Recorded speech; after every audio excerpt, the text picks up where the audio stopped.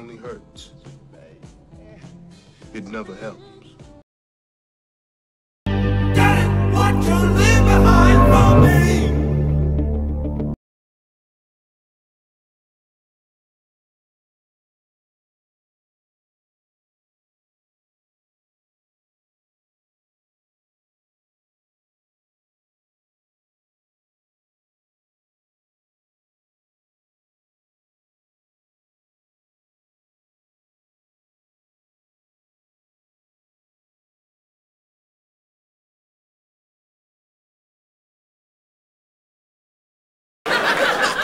They're coming.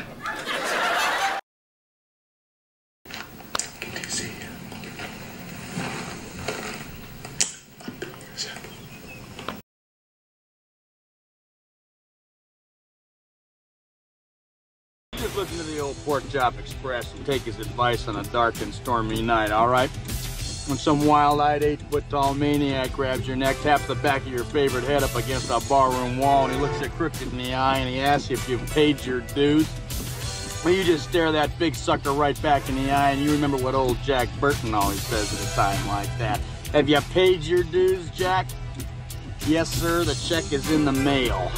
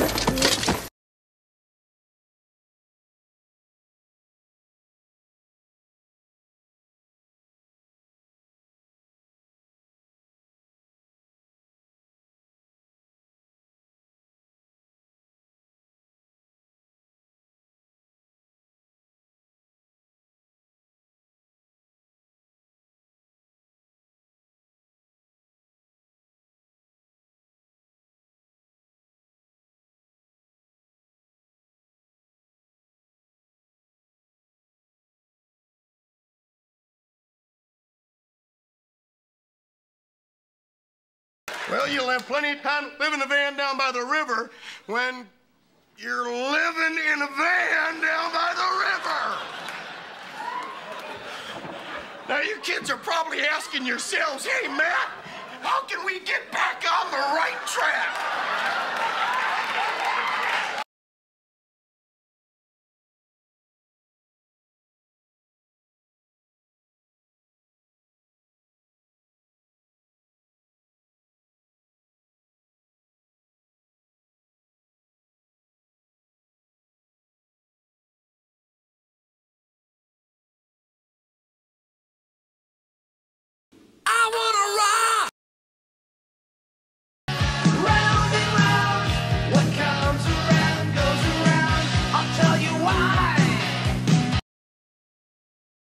This is all historically documented, and you can even find it on Wikipedia. The Templars united with the Freemasons in Scotland because Scotland was one of the best places to retreat after their banishment, as there was no papal influence.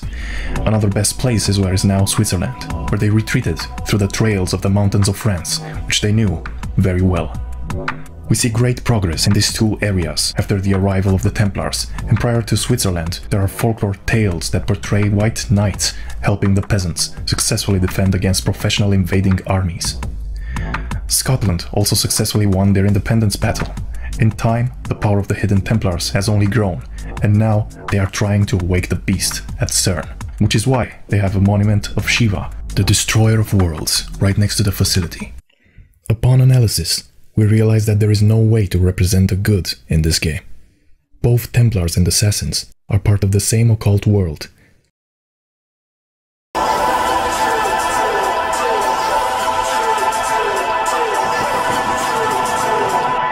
the biggest church split in history. The Catholic Church split. Satan is the spirit of division. Now, when you're dealing with what happened 500 years ago, what is a protest? Strife. Oh, one of my favorite days in my life was with Pope Francis. What a man. He's one of my heroes. And this is what he's all about. This whole thing. That's one of the things that got me so on fire about it. And I am on fire. Say together. Say Catholic, Lutheran. If there is no more protest, how can there be a Protestant church?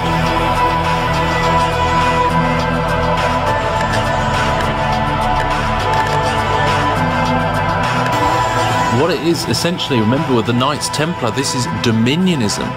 This is dominion theology about taking over the world. Solomon, as opposed to his father, started following the deities of his foreign wives, deities such as Ashtoreth, Chemosh, and Molech, which even required child sacrifice. What is this symbol? They say it's the Star of David, but there are no real references that connect this symbol to David. On the contrary, there are a lot of references that connect this symbol to the seal of Saturn, occult works, and Kabbalistic sources. It has more to do with the conquering of the forces of nature than with God's teaching. The occultists believe that through the use of human technology, conquering of these forces of nature through the alchemical mastery and the practice of the mystery Babylonian religions, man will achieve full control of the world and become immortal without the help of God. This process will be completed with the coming of the New Age or the New World. They are followers of the bull gods, which Solomon betrayed God for, the Templars, followers of Baal or Ba-El. That is why we have an interesting movie called The Brotherhood of the Bell, where it is being shown how the secret societies work and what can happen if the vows of secrecy are being broken. Do you swear that having been entrusted with these articles and letters since midnight this night, that you alone read them and did not communicate their content to any person whatsoever? I so swear. Having so sworn, are you now prepared to go forward? I am prepared. Mr. Dunning, for over 200 years, Brothers of the Bell have been initiated before this bell and in the same ceremony at sunrise. But that continuity depends upon one thing obedience. Absolute obedience. If and when you are ever called upon by Mr. Patterson to pay your due bill, you must comply, whatever is asked of you. Are you ready for the oath? I am. The oath, gentlemen. I, I, Chad Edward Edward Dunning, do swear in absolute faith that I shall reveal no secret of the Brotherhood of the Bell, that I shall respect my brothers and myself, that I will act as they desire, secure their interests as if they were my own. And I pledge this, my honor, my fortune, and my life.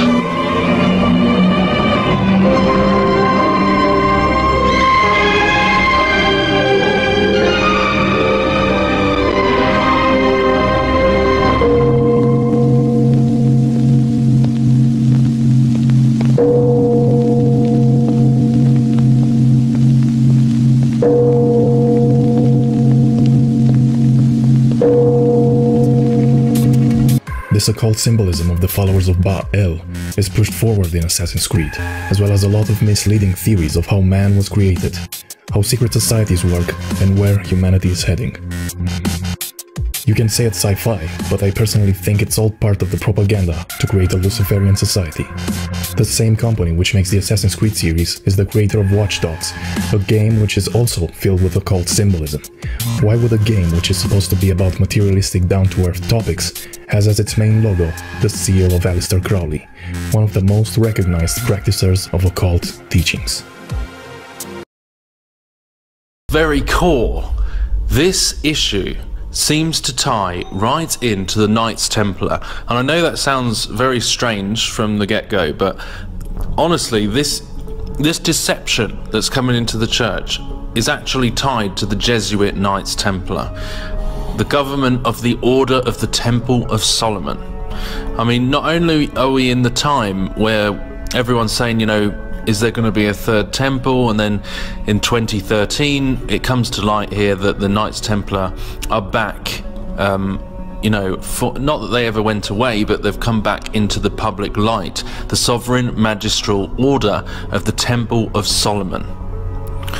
2013 AD is fully restored as an independent sovereign subject of international law in 2013, embodying the authentic Templar heritage. And we literally have a whole website here which is dedicated to all of these official documents, legal documents, mind you, and the missions. This is what I want to show you this Templar spirituality. And this is how this links with this deception that we're seeing the worship of the goddess, the reverence of the divine feminine, Gaia. The temple rule proves that the Knights Templar were always dedicated to honouring the divine feminine principle as the spiritual feminine aspect of God. So you can see how this ties to the Roman Catholic Church, to the Jesuits, to Allah, the moon goddess, and to all of these false religions, but also this pagan New Age, which is actually the Old Age Babylon agenda, um, and the throwing out of this masculine we know we see all these attacks on god and, and um, the old testament and the truth of god and, and turning into this airy fairy emotional experiential deal without boundaries without restrictions without commands. Uh, and all of this stuff is tying into, when you come to its very core, the conspiracy at its very heart of the New World Order, the Antichrist, the paganism, the, the Babylon agenda, New World Order, is actually rooted in the Knights Templar, who never went away, but now in 2013 have officially come out into the public and declared themselves sovereign. Uh, a sovereign entity without territory, but sovereign nonetheless. So it's all about Gnosticism and Christian mysticism, the divine feminine. The uniquely ancient and diverse heritage of Templar spirituality was fully disclosed to the Vatican and officially endorsed by the Roman Catholic Church. Authentic Templar spirituality is a form of esoteric Gnosticism which is wholly compatible with the canonical Christian mysticism of classical Catholicism. Gnostic spirituality primarily concentrates on personal divine communion through the Holy Spirit. Here we go, look, Templar chivalry, look at this. This is the picture of the Pope with all the, the world leaders of religions, of false religions. Hinduism, Islam, Baha'i. And this is what they are showing. And at the bottom of the page, we can see all of these emblems which say a lot pontifical protection. Recognized by five Vatican papal bulls as Templar guardians of the church. Cooperation with Islam. Look at that cooperation with Islam as a tool of the Jesuit Knights Templar. Look at this. The Knights of Saladin under Templar sovereign patronage. Diplomatic relations with the United Nations with the crest of Rome. Oh my goodness me. Look at this, United Nations. This is where all of these agendas are coming to. So, and remember with the United Nations that they have those books on New Age spirituality, Alice Bailey, and all of these people who were involved in this Gnostic counterfeit um, spirituality of the Antichrist. And this is very similar. This logo is very similar to what we see on some of the big Christian, so called Christian, broadcasting networks. The main logo of the game presents us with an image that I believe to be not the destruction of hell, but the rise of the Antichrist and his legions. We've got pentagrams on both left and right and the Saints logo in the middle, symbol of which meanings are highly debatable. It has been used, however, on many coat of arms across the world, as well as in sports teams, universities, architecture, and military, one of the most relevant examples being the Israeli intelligence force.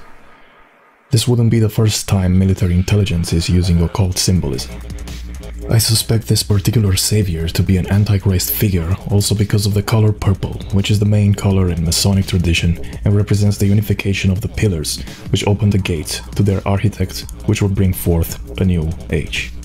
Specifically, the fifth age, which in Roman numerals is represented by the letter V, which we can find in the Saints Row Developer Company logo, where we can also see the dehumanized head of the approaching transhumanism. The showing of two V's seems to be a main theme in the occult symbolism world. There is an interesting scene in the movie Kingsman where this theory is completely confirmed.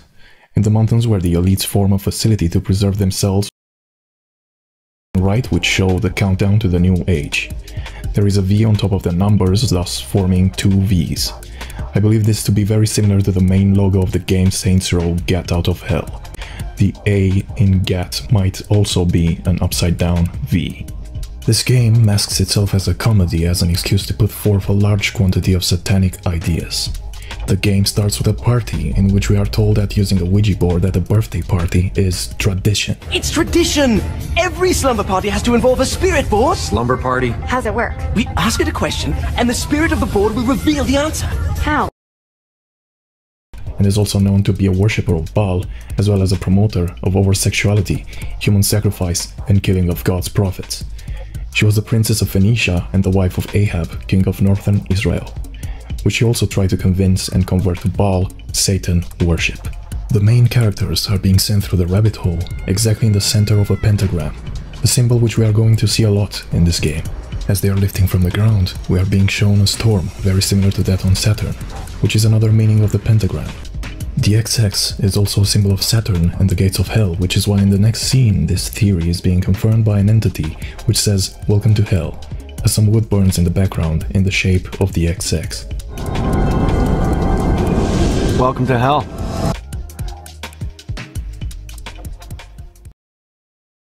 Portray the final image with occult satanic elements such as the pyramid and the lightning bolt which represents Satan.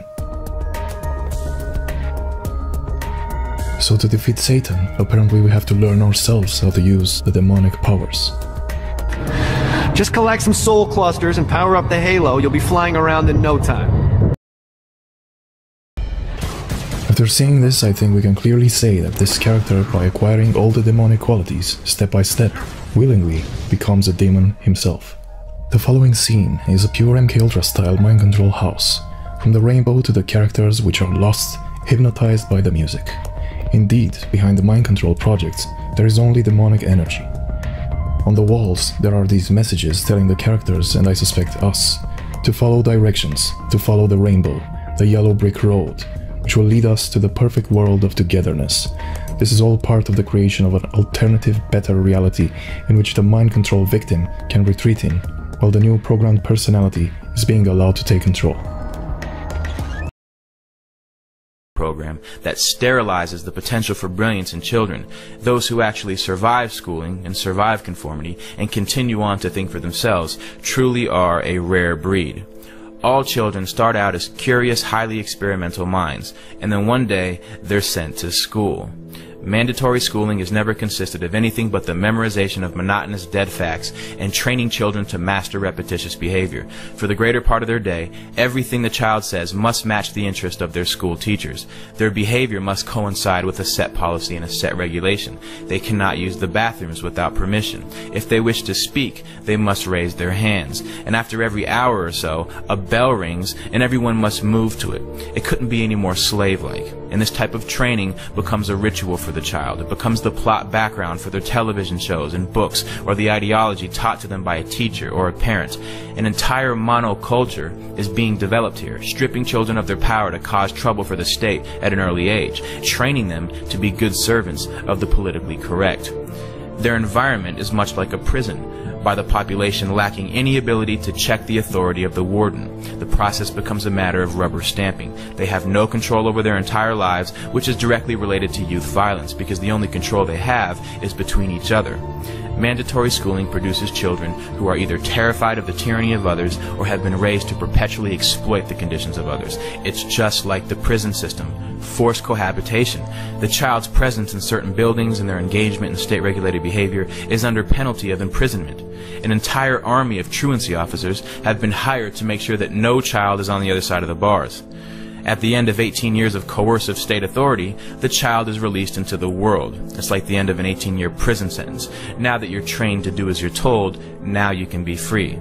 And the produce of these schools, or the state-controlled manufacturing operation, is a society willing to submit, to obey, and to listen. Forced behavior, which technically amounts to a type of slavery, will only inculcate a mindset of fear and terror. You need to be somewhere at a set time, either at the orders of an authority or a bell. Everyone in one mass shifts to another position or another place to engage in a new activity. They're trained to not only follow instruction, but they're also trained to follow a certain behavior. Rules, regulations, and laws are set for the children. They say you cannot do this to others. You can do this to others. This is acceptable. This is not acceptable. Standards of culture, morality, and behavior are imprinted into these new young minds that are in the blossoming stages of development. Their minds are being intercepted by the state and molded to conform to state standards. The first lesson they teach you is the orders of authority. The second lesson is to work with each other to achieve the desired ends of those in control. If a group of children are taught to engage in the same behavior regardless of what they want to do, then they will never fight back as adults. And this is your group of tenants who will live in roaches and never call the health inspector. This is your group of citizens who is easily terrified by police officers into voluntarily giving up their rights. This is your group of workers who surrender their lives to the corporation who tells them how to dress, how to speak, what time to wake up, which means they essentially tell you what time to go to sleep if they tell you what time to wake up. This is nothing new. These are the fruits of mandatory schooling. If we look into the roots of 19th century industrialism, the Civil War demonstrated to industrialists and financiers how a standardized population trained to follow orders without significant thought could be made to function as a money tree. It's no surprise that global power and corporate wealth is based on a third-rate educational system that works against developing individuals of true character and true intellect. Because the mindless bureaucrat or the thoughtless worker who will follow a system without question is the pattern that our system depends on. And this is what school produces. The system is not designed to educate the public, which is why federal and state bureaucracies call the shots, not the parents, not the local school boards. Every law is harshly enforced with maximum punishments. The tone of a principal is much like the tone of a warden, with no check on his authority. They will always have a way of using coercive ability to enforce a standard on the population. Strict punishment awaits any kid who disobeys this ruling force, and there is no doubt that an active student body reflects positively on school administrators. It's like factory floor men. They're fulfilling their quotas to the inspecting superintendent of the local school district. This is the reality of government training. The state doesn't care if children are homeless or on the streets or suffering from malnutrition and hunger, but the second the child fails to appear in school at the scheduled time, like a court date, the police are alerted. Until we abolish mandatory schooling, your child will be brought up as a slave so that he can accept becoming a slave. I'm sorry for you. And I for you, Thorndyke. You and your world. You know what would happen then? Don't forget their Reichstag fire trial.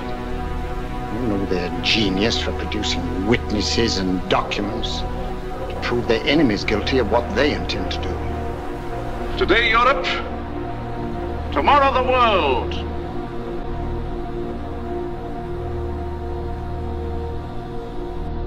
One of the first things you learn in this business is forget about capitalism versus communism. That is absolute nonsense. The two are behind the scenes are hand in hand. You need the so-called conflict between the two to keep people focusing. Look, keep you looking over there. You know, capitalism versus communism. You know, that makes a nice little picture. You know, you get books on it and films on it. Uh, capitalism versus communism. That's not where the action is. The action is over here.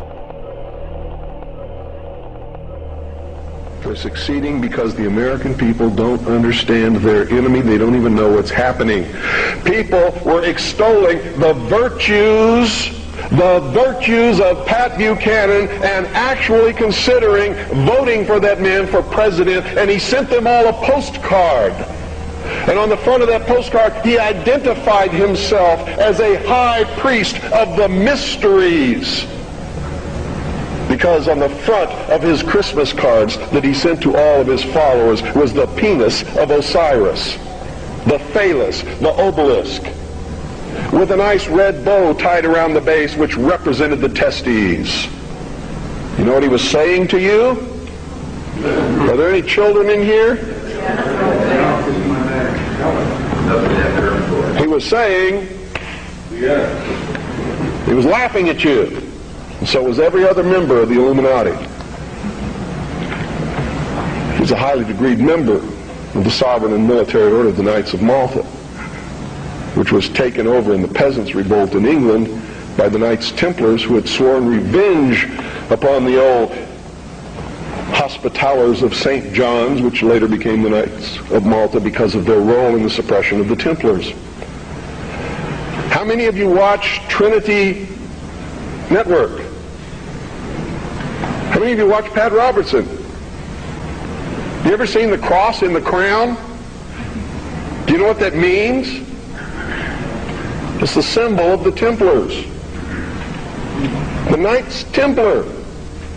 It is the symbol of the unification of the church and the government over the people. Is that what you want? If that happens, I'm going to have to take up arms all over again. And so will many of you because you're going to be persecuted. You see? Because whichever one controls the government, you're going to have to conform to that teaching, and if you don't believe in it, you're a heretic. Do you understand what I'm talking about? What is our common bond truly? Freedom. Freedom. Without freedom, you can't be a Christian no matter what denomination you belong to. You can't be a Buddhist. You can't own a donut shop. You can't drive from here to Oregon. You can't be an American because that's what it's all about, and that's the only thing that it's all about. Nothing else. Nothing else. It's about freedom.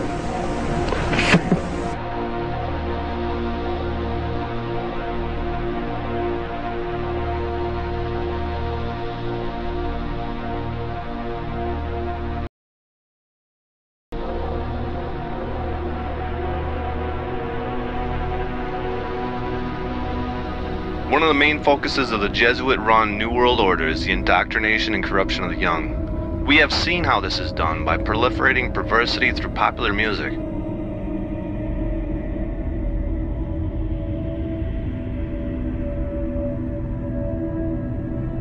You're doing really well now, but didn't you release a CD like almost 10 years ago? Um, yeah, I mean, I released a gospel record when I was 15 um, because I grew up in, uh, you know, a household where all I ever did was listen to gospel music, and my parents are both traveling ministers, and so I kind of sang about, you know, what was going on in my life at 15, and that's how I got introduced to the music industry. Because I swear I wanted to be like the Amy Grant of music. Yeah. but it didn't work out, and so I sold my soul to the devil.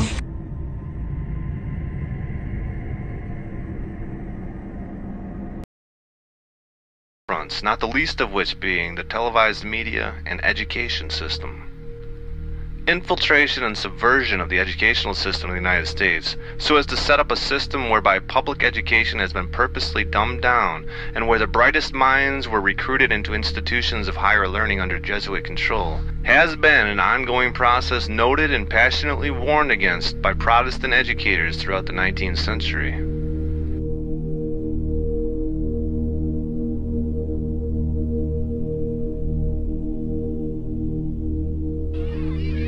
Give me a child until he is seven, and I will give you the man.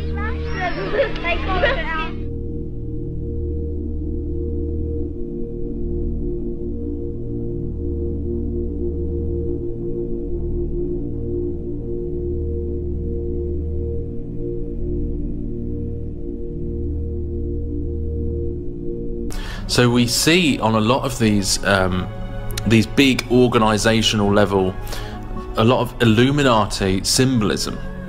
And what it is essentially, remember with the Knights Templar, this is dominionism. This is dominion theology about taking over the world.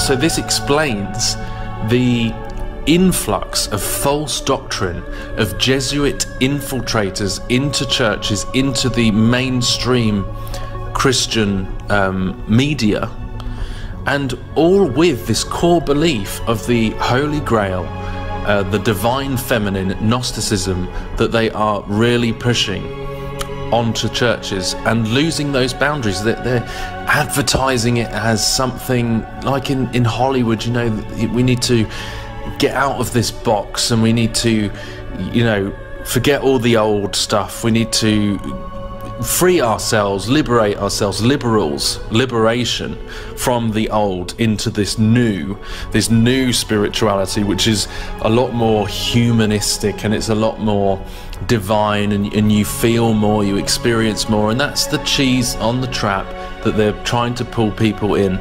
Um, I mean, yes, there are certain good things to um, Reformation, but they are they are staging a counterfeit Reformation, which is a Knights Templar Gnostic Reformation, and they're pulling people into these horrific scenes, which I showed at the beginning of this, with Bethel music and all of these people that have counterfeit. Um, counterfeit revivals, counterfeit prophecies, counterfeit signs and wonders. These groups that are actually pushing a Kundalini spirit.